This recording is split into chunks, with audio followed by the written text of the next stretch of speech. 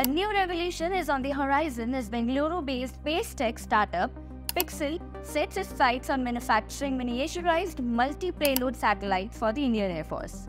What significance do these satellites have for the Indian Air Force?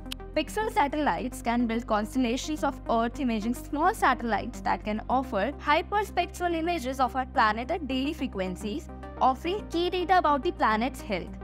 This capability can greatly enhance the Indian Air Force surveillance and reconnaissance capabilities, leading to better situational awareness and decision making.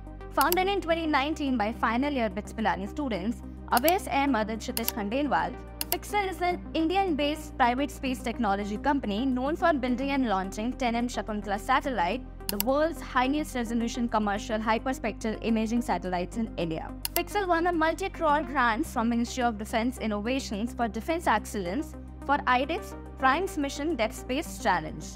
IDEX is an initiative of the Ministry of Defense to foster innovation and technology department in defense and aerospace sectors by engaging MSMEs and startups.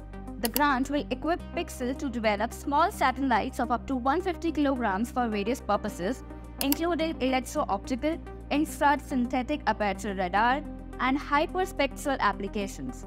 Pixxel is aiming to launch 6 satellites in 2024 and 18 in 2025. India's space tech market is expected to reach a size of $77 billion by 2030.